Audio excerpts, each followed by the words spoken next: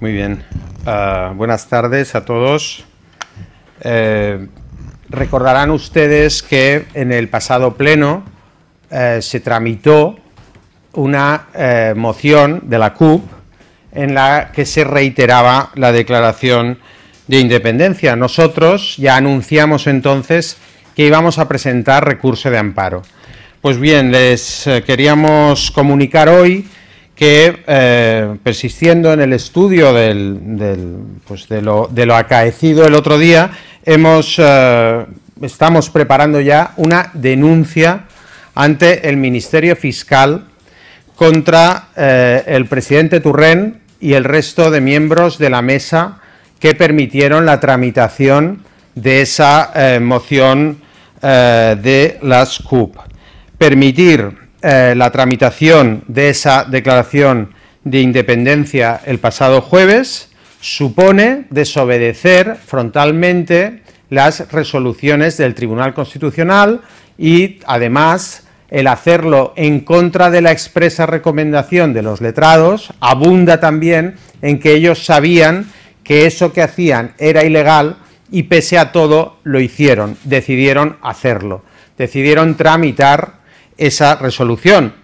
Por lo tanto, por hacer lo mismo que el señor Turren, que el señor Costa, que el señor Candepadrós y que la señora Adriana Delgado, quiero recordar que están procesados la señora Forcadell, la señora Barrufet, la señora Ana Simó, el señor Corominas y el señor Nuet, por hechos idénticos, parangonables, eh, similares, eh, eh, por, hechos que tienen una identidad en las personas, en los medios y en, los objetivos. Por lo tanto, nosotros consideramos que es muy grave que mientras que en el Parlamento se están cometiendo delitos claros y por los cuales ya hay personas eh, procesadas eh, por haberlos cometido en, circunstancias parecidas, el gobierno de Sánchez decida poner una alfombra roja al separatismo y mirar hacia otro lado. Pero nosotros representamos a la mayor parte de los catalanes desde las últimas elecciones y Ciudadanos no va a cerrar los ojos ni va a mirar hacia otro lado mientras hay un grupo de personas que con el objetivo de separarnos del resto de España y de Europa están dispuestos a vulnerar los derechos del resto de los diputados, de la mayoría de los catalanes y del resto de los españoles, a vulnerar esos derechos y vulnerar la ley también. Como nosotros no tenemos pactos ni deudas que pagar al, separatismo, pues nosotros podemos hacer aquello que toca y aquello que es debido, que es poner en conocimiento de la Fiscalía, por si pudieran ser constitutivos los hechos de delito, para que se investigue y se diluciden las responsabilidades. Nosotros, frente al abuso de aquellos que creen que nos pueden separar de Cataluña, de, perdón, que nos pueden dividir a los catalanes y nos pueden separar de, de España y del resto de Europa, nosotros sí que vamos a actuar. Y Quería decirles también que, curiosamente, cuando se estaba eh, recabando la documentación precisa para esta denuncia ante la Fiscalía, eh, nos ha sorprendido muchísimo comprobar que la moción que votamos el pasado pleno ha variado misteriosamente. La moción que votamos en el Pleno no es la misma que se ha publicado en el Boletín Oficial del Parlamento de Cataluña. Nosotros votamos cuatro puntos y se han publicado seis puntos. Y hay palabras que estaban y ahora ya no están. Y sospechamos que esta variación entre lo que se votó, producto de la transacción con la CUP eh, y Junts per Catalunya, lo que se votó, aquello que votamos el otro día, eh, se ha rebajado de intensidad, se han suprimido algunas palabras, precisamente con el objetivo de limar las responsabilidades personales que hayan podido contraer y también para que el dictamen del Consejo de Estado se haga sobre una resolución que es distinta a aquella que se transaccionó y que nos presentaron a los diputados. Como es lógico, y dada la gravedad de, estos hechos, porque es inaudito y es insólito, no había ocurrido nunca que se vote algo en un pleno y luego te lo encuentres redactado de otra forma en el diario del Boletín Oficial del Parlamento, pues pediremos explicaciones, pediremos a los servicios del Parlamento que nos expliquen por dónde, qué nos hemos perdido para que cuando se votan cuatro puntos por separado se, se, publiquen seis puntos y que además falten palabras en la resolución que se ha publicado, porque ya sería lo último que después de haber eh, desobedecido, después de presuntamente haber prevaricado, ahora entremos también en el campo de las falsedades documentales en documento público. Por lo tanto, yo creo que es necesario que eh, se nos explique en los servicios del Parlamento estas extrañas circunstancias.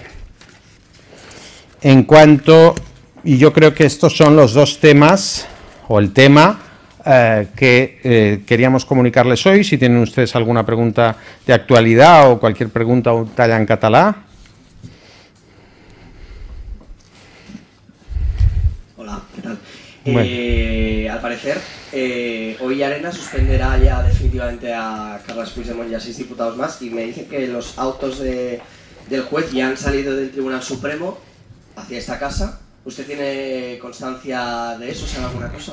Todavía no tenemos constancia de ello. Por lo tanto, esperaremos a ver el, contenido de, de los autos y también les digo que eh, cuando nosotros en el pasado pleno nos opusimos a que se contabilizasen los votos de aquellas personas que ya sabemos que estaban suspendidas de inmediato, automáticamente, por, efecto del artículo 384 bis de la Ley de Enjuiciamiento Criminal, eh, pues eh, ya manifestamos que esto era así y se nos manifestó por parte del presidente Turren que ellos no habían recibido esta notificación. Pues ahora si es que es cierto que esta notificación está en camino, pues habrá que ver qué otra excusa se pone por parte del presidente Turren para incumplir nuevamente las resoluciones judiciales. ¿Alguna pregunta más? Sí, sembla que la vicepresidenta, l'exvicepresidenta Soraya Sánchez Santa Maria ha dit avui que a Catalunya es practica l'apartheid. Vostès ho comparteixen, això? Mm, mai ho hem dit, això, i, qui, i la persona que ho ha dit ho haurà d'explicar. Nosaltres el que l'únic que hem constatat és que tenim un president de la Generalitat que ha dit que part de la, dels catalans són, eh, són bèsties i que tenen un ADN defectuós. Més enllà d'això, jo no tinc coneixement de... Jo no li puc dir o fer comentaris davant d'un comentari de la senyora Soraya Sánchez de Santa Marina.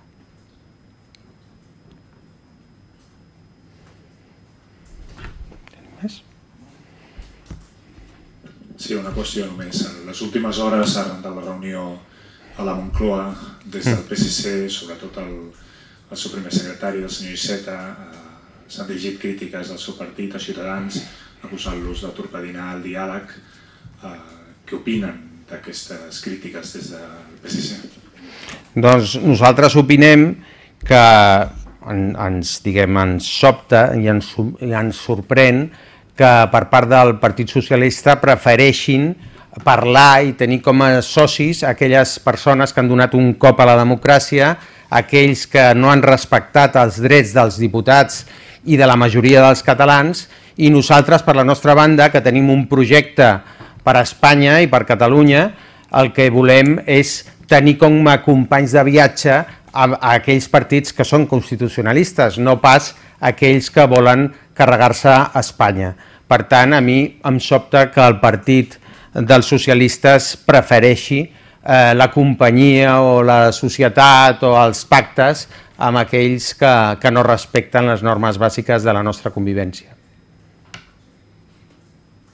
Eh, y esta mañana también el presidente Torra ha dicho en una entrevista que eh, tanto la abogacía del Estado, Fiscalía o el Tribunal de Cuentas están bajo la tutela del, gobierno, del gobierno y eso puede tener incidencia en la libertad de los líderes independentistas encarcelados. ¿Qué le parecen estas declaraciones? Perdone, perdone, ¿que, que pueden tener incidencia? ¿Quién? tanto la abogacía del Estado como la Fiscalía o el Tribunal de Cuentas están bajo la tutela del gobierno y eso puede tener incidencia en la libertad de los presos, eh, de los políticos presos. No sé si usted Bueno, tiene- yo lo que estamos acostumbrados es que eh, por parte del separatismo se confunda absolutamente la separación de poderes. Sobre la libertad de los presos, eh, de los presos, eh, de los políticos presos, eh, los únicos que tienen potestad para decidir son los jueces. Así es en cualquier democracia, así es en España y por lo tanto, pues no se podría comprender que hubiera pactos que alcanzasen a decisiones sobre como quién entra o quién sale en prisión a instancias de los políticos. Nosotros ya sabe que incluso en el Parlamento cuando se han sometido a votación eh, las peticiones de libertad, pues hemos dicho que nosotros no votamos, los políticos no votan quién entra y quién sale en prisión, porque esto es una democracia y quien lo decide es el Poder Judicial y por tanto los jueces. ¿Alguna otra pregunta? No? Molt bé. Doncs ja estem. Gràcies.